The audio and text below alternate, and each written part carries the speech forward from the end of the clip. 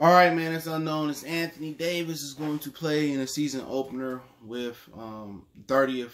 I think it's gonna be on TNT. I don't know, but uh against the Clippers.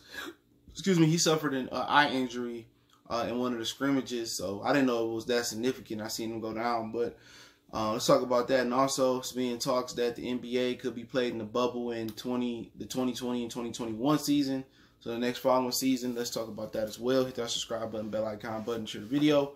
There's no point of putting Anthony Davis out there, to be honest. Um, it's just not. you know, you, you're not playing for nothing. You playing for seeding. I get it. I mean, but you know, being a number one seed, you should have had an easier road. I think they five and a half or five games up on the Clippers. Um, you know, but at that point, it doesn't matter.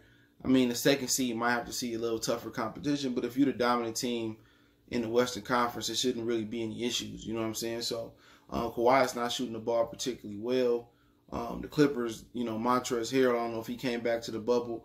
Lou Williams will miss the Thursday game. So, if you're not having Montrez and you're not having Lou, you know, so, I mean, why not play? With LeBron, you should be able to beat them.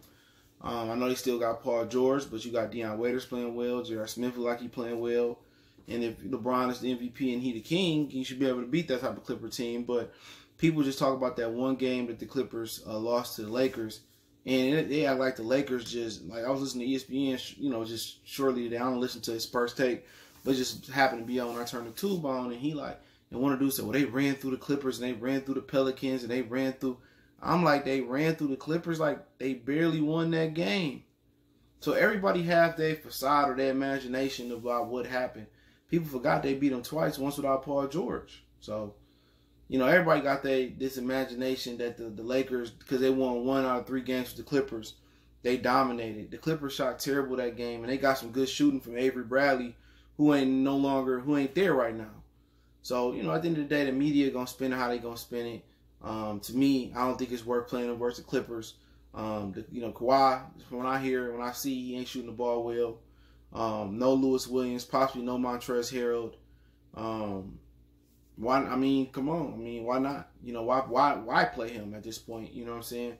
Let him heal. You don't want that eye to get any damage, but he can't put goggles on to play.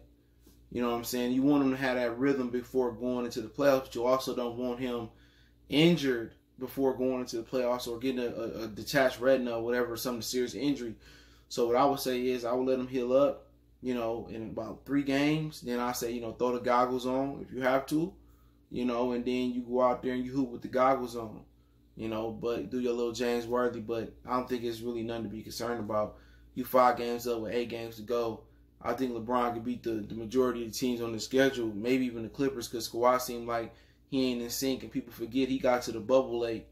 Um, and and I think he had the coronavirus and couldn't go outside and do much. So, I mean, to me, I've already said whoever wins this, I'm putting that. I know I'm not counting it. You know, people, it's harder. No, it's not harder. It's bullshit because a lot of players ain't gonna play the way they need to play. Middleton and, and Siakam, they ain't trained in, in, three. They ain't touched the basketball in three months.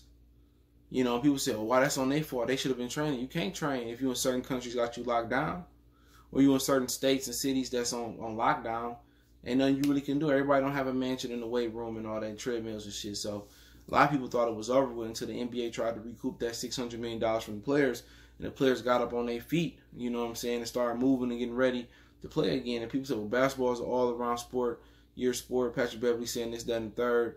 But everybody wasn't looking for it to start. It ain't. It ain't a fair. It ain't fair, and everybody ain't there. You know, but it is what it is. And if LeBron lose, his apologist is gonna point out everything that I've been saying. If you win, they're gonna try to spin it as the best thing since sliced bread. It's not the lockout season. The lockout season, they still play what 50 or 60 year 60 games. I'm not talking about the one LeBron won, but the one in '99. You know, so it is what it is, man. But uh, they talking about they might play the NBA season in the bubble next year. So I don't know if all Western Conference teams gonna be in the bubble on the West Coast and all the Eastern Conference teams going to be in the bubble on the East Coast. But um, they preparing for that, and I also heard they preparing to play without fans before announcing they may do another bubble. So, I mean, that's just the way it's, it's probably going to have to boil down to it. Um, you know, the NFL is hoping to do fans. I know in the UK they they having some capacity fans starting in October, I believe, of some of their sporting events. So boxing is expecting to do a few fans as well pretty soon. Also, they are doing trials runs for the vaccines. I think it's for thirty thousand people across America. They uh looking for volunteers. They paying people a thousand to try out the COVID nineteen, which you know they should know. They won't know the results until next year. So, um, so who knows where this is going?